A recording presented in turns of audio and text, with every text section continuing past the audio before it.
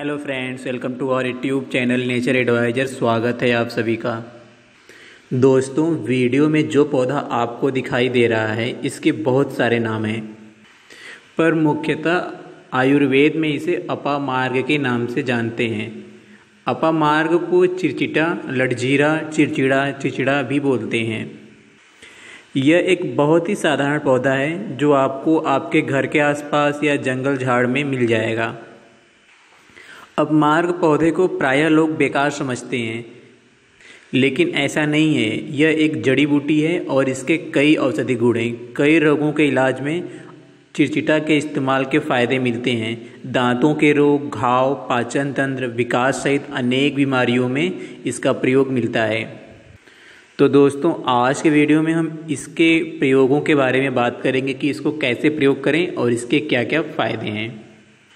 मुँह के छालों की समस्या में अपमार्ग का प्रयोग किया जाता है। मुँह में छाले होने पर अपामार्ग के गुण फ़ायदेमंद होते हैं। इसके लिए आपको अपामार्ग के पत्तों का काढ़ा बनाकर मुँह का गरारा करना पड़ता है। इससे छाले ठीक हो जाते हैं। चर्म रोग में भी इसके बहुत सारे फ़ायदे हैं। इसके पत्तों को पीसकर लगाने से फोड़े, फुंसी आदि चर्म रोग और गांठ के रोग ठीक हो जाते हैं। जोड़ों के दर्द में भी इसका प्रयोग किया जाता है। चिचिड़ा के 10-12 पत्तों को पीस कर इन्हें गर्म कर लें और इनको जोड़ों पर बांधें। इससे जोड़ों के दर्द में काफ़ी आराम मिलता है। आधी सीसी यानी माइग्रेन में भी इससे फ़ायदा होता है। चिचिड़ा के बीजों के चूड़ को केवल सूंघने से माइग्रेन में आराम मिलता है। इसके सूंघने से मस्तिष्क के अंदर जमा हुआ कप पतला होकर नाक के ज़रिए बाहर निकल जाता है।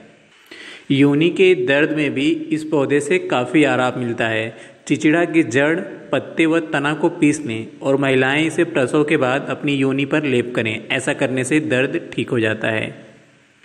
चिचिड़ा पौधे के जड़ की रस को रुई में भिगोएँ और इसे योनि में रखें। ऐसा करने से दर्द और मासिक धर्म की रुकावट खत्म हो जाती है। बवासीर यानी पाइल्स में यह रामबाड़ औषधि है।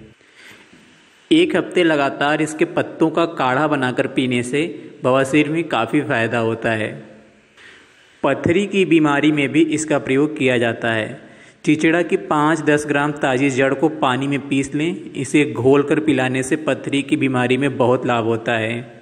यह औषधि किडनी की पथरी को टुकड़े टुकड़े करके शरीर से बाहर निकाल देती है।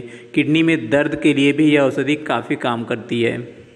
आँखों की बीमारी में भी इसके जड़ का प्रयोग किया जाता है। इसके जड़ के रस में दो चम्मच मधु मिलाएँ और इसे दो दो बोत करके आँखों में डालने से आँख के रोग ठीक हो जाते हैं। तो दोस्तों, आप ऐसे ही जड़ी बूटियों के वीडियो रोज़ प्रतिदिन चाहते हैं तो इस चैनल को सब्सक्राइब करें और साथ ही साथ वीडियो को लाइक करें और वीडियो को शेयर करें। थैंक